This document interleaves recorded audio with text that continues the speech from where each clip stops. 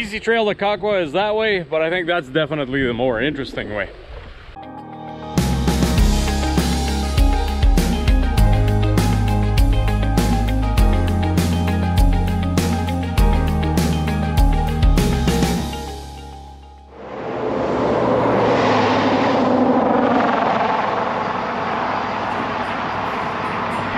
It's been two years since we've been and we have a four day window, so we're heading to Kakwa Falls this weekend.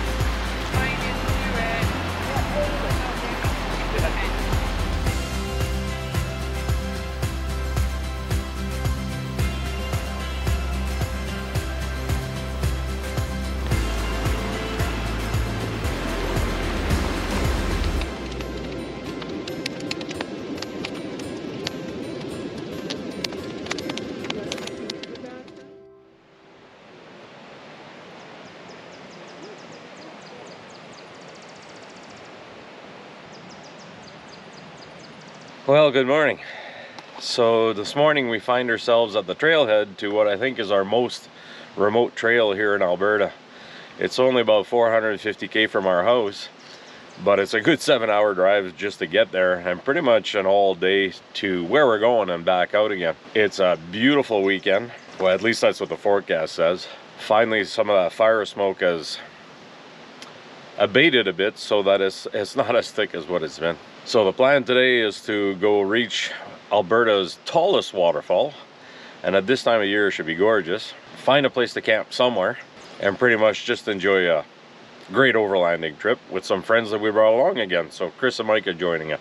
But before we do anything this morning, it's time for coffee.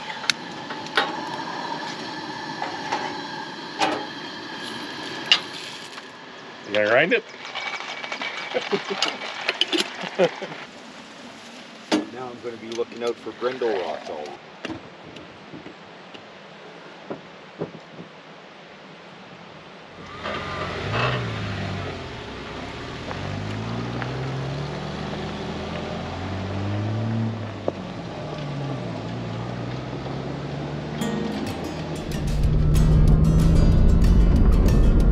Just got, had to get rid of my snare drum.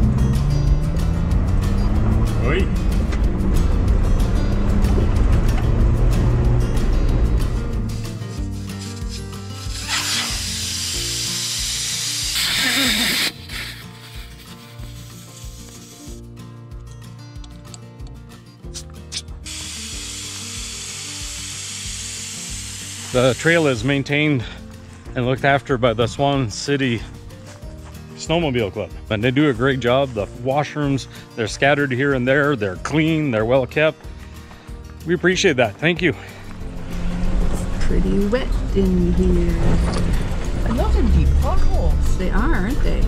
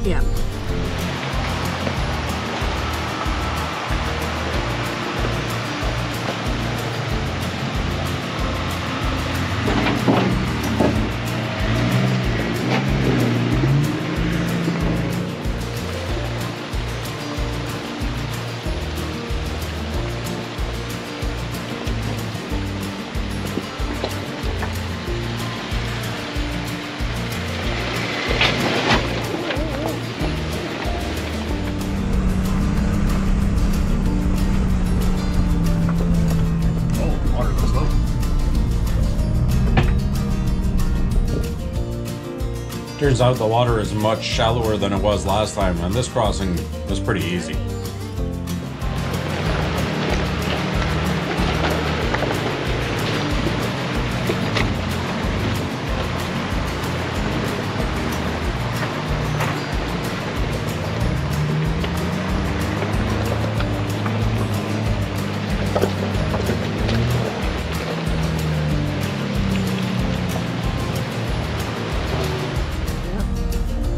I'm locking up. You lose traction at the top, Dave. Okay.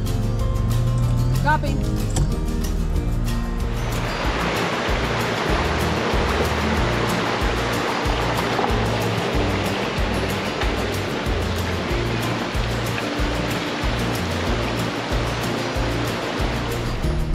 Didn't expect to see that pickup here.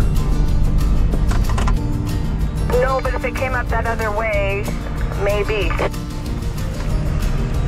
That could be actually.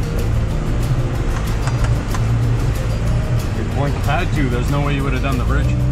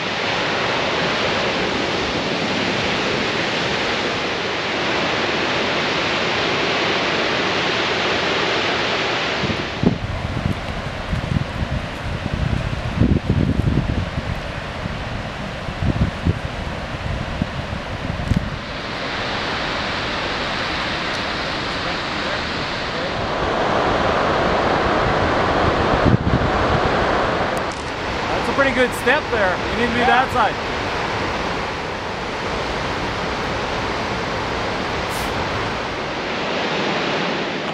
So we really intended to go down. We've come here a couple of times, always wanting to hike down to the bottom, and we gave it a try this time. And I'm not gonna lie to you, That's sketchy. Very sketchy. we're not too comfortable with this. The ropes are well laid out, but there's a section just in front of us here that's been washed out over the years, I think. And there's a big gap with no ropes. Not much for traction on this sand. No, this is where we stop. Awesome view, but this is where it's gonna end. Good. So from the top, you think you're 20 years old. After the first rope, you think you're 30 years old. After the, four, the fourth rope, you realize you're well past 40. No self-respecting 50-year-old would come down here.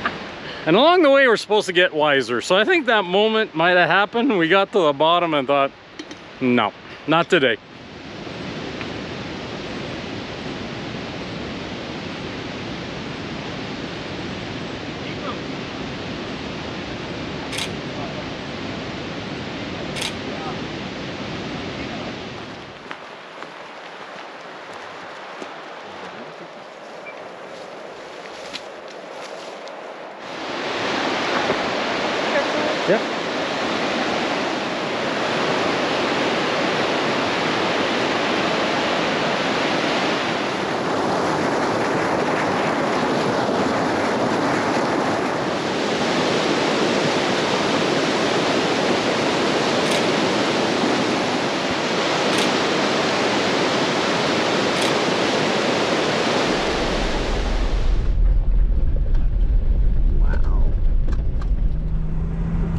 Spot on the left work for you, Jean?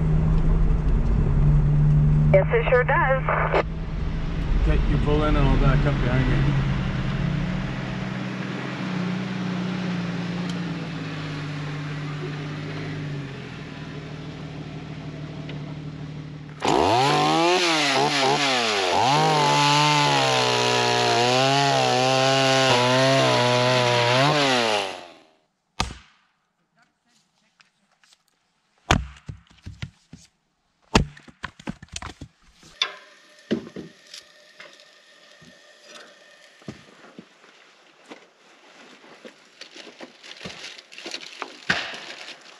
Christina insisted that she supply all the food for the weekend.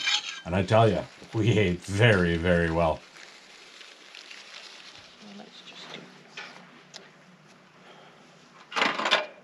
Holy, that looks good. does, doesn't it?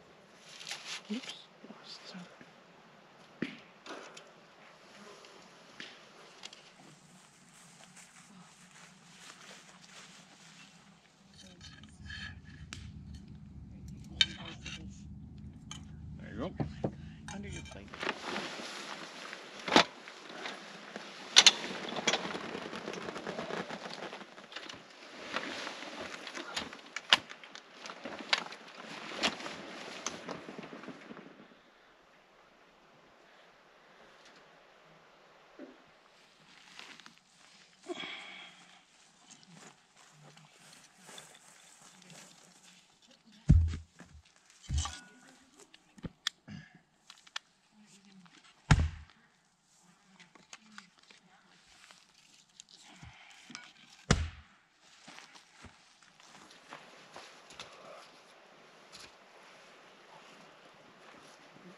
Made a difference. Anticipation of hearing them buzzing in your ears?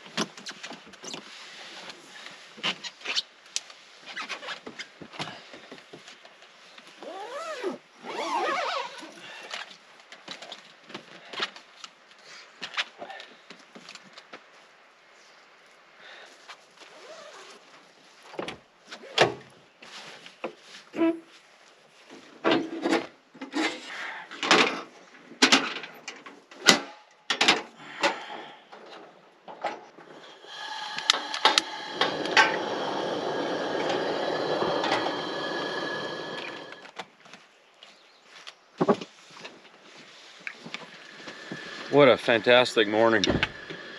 Today the plan is to make it kind of halfway home, find ourselves a nice camping spot, get away from these mosquitoes that are pretty thick. Break our trip in half on the way back home because it is it is a bit of a drive to get here. The trail has been much improved. It's a lot easier than it was last time that we came. And we discovered that there's an old way and a new way. So the sign actually points to the left and we went to the right, not knowing because that's the only way we, or at least that's the only way I know how to get there. And I think the old way is a much more entertaining way. A lot more small obstacles, water crossings, very scenic. Definitely the way to go. So this morning, plan is to make coffee, pack up camp and hit the road, make it at least halfway for and find a nice camp spot.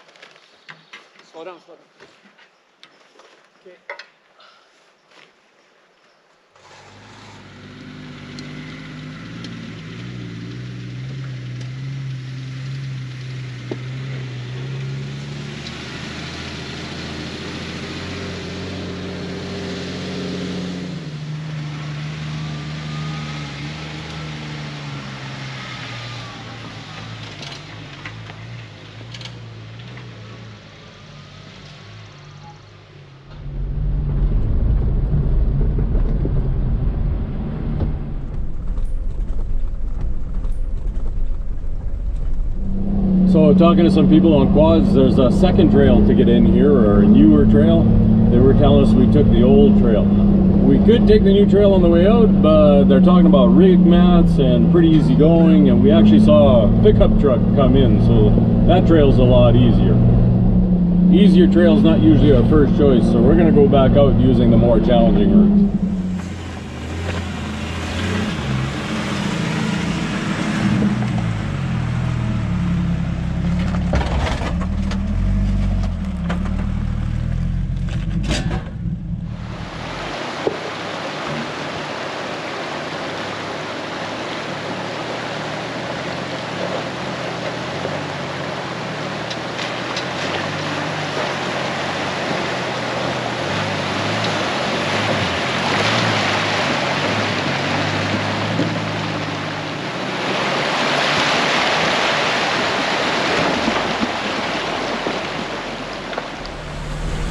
It didn't look so full when we came the other way, did it? No, it look did it?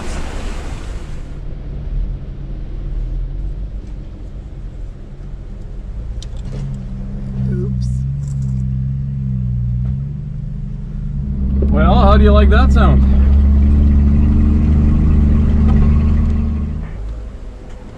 Ooh. When you can't see, it's a little unnerving.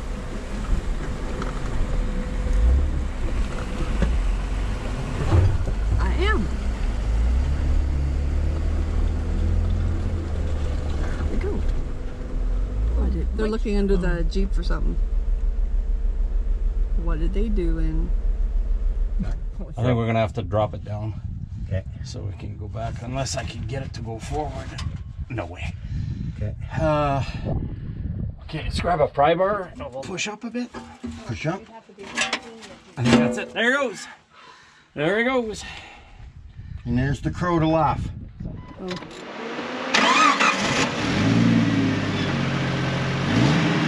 Way better. As it turns out, the tailpipe hit the bank just right and actually pulled the section out and separated the muffler from the exhaust pipe.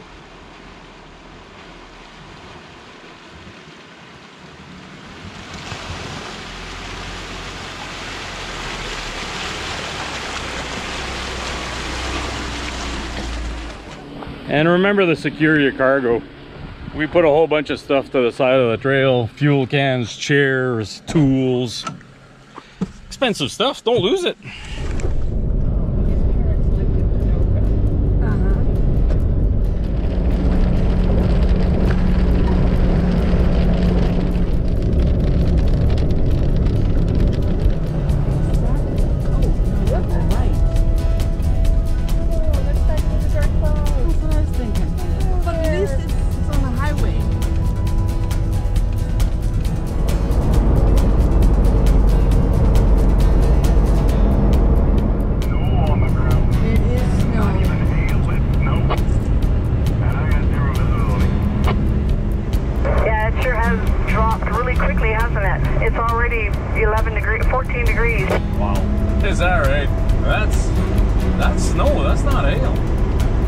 One thing about Alberta weather is you can get snow, hail, rain all within a few minutes. And in this case, within a few kilometers. We were quite surprised to come across snow at this time of year. It is mid-July after all.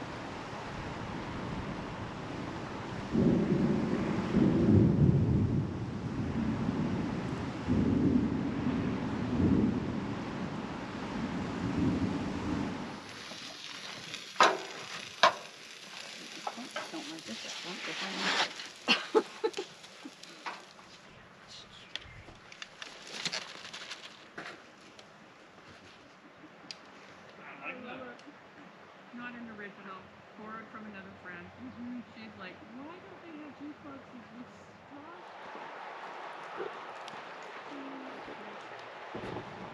Smack, smack. Just knock it off beside you.